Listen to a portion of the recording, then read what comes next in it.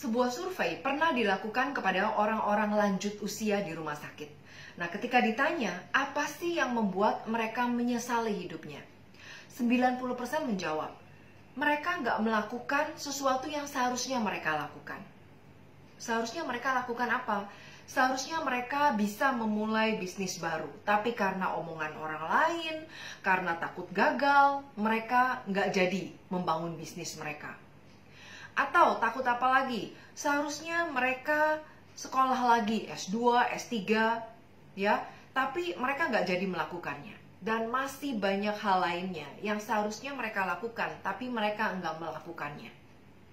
Mereka nggak mengerjakannya. Nah, ini menyisakan satu penyesalan yang mendalam.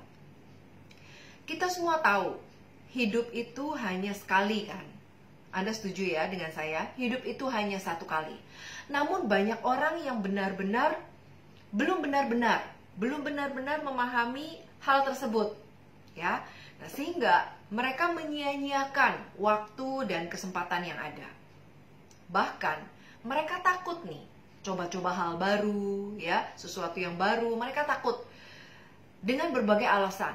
Ada aja alasannya, ya, belum siap lah, nggak ada ini, nggak ada itu dan sebagainya.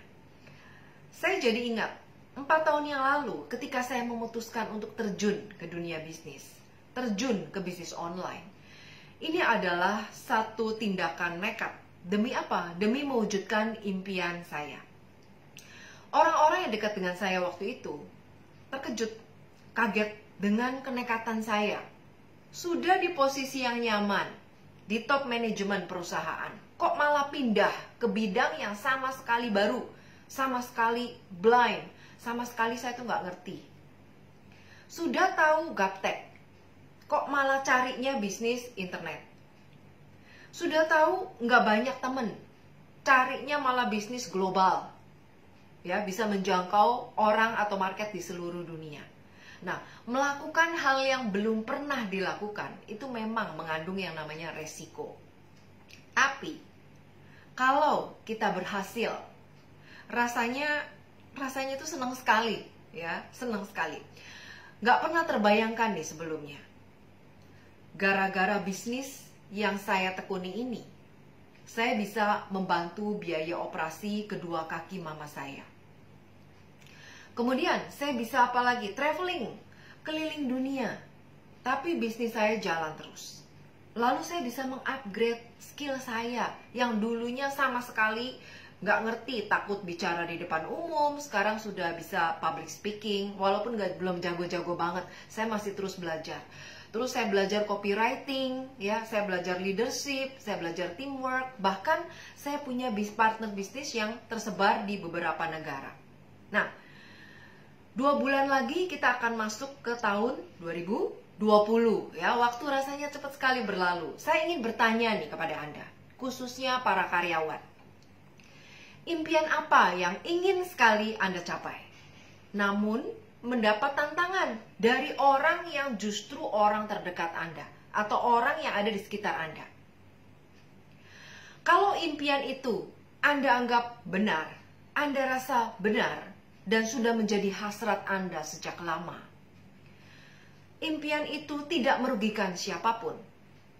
Ayo, tantang diri Anda untuk mewujudkan apa yang menjadi impian terbesar Anda, impian terliar Anda. Just do it. Lakukan saja. Lakukan dan buktikan. Anda mampu mewujudkan apa pun yang menjadi impian terbesar Anda. This is your life. Ini adalah hidup Anda. Tidak ada seorang pun yang percaya. Tidak ada seorang pun yang believe kepada Anda. Sampai Anda benar-benar melakukannya. Nah,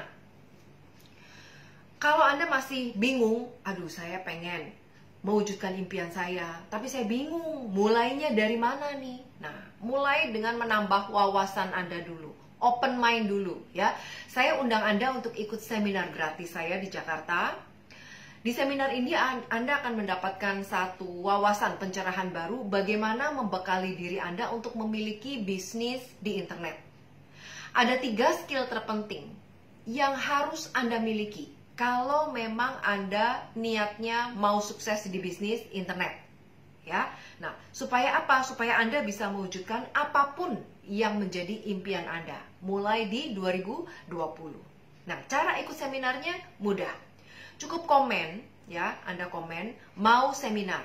Nanti saya akan kirimkan caranya, detailnya ke inbox Anda. Itu aja semoga memberikan manfaat untuk Anda. Jangan lupa just do it. Lakukan saja. Saya Christine Amalia, founder dari karyawanmilioner.com. Sampai jumpa di Karyawan Milioner Tips berikutnya.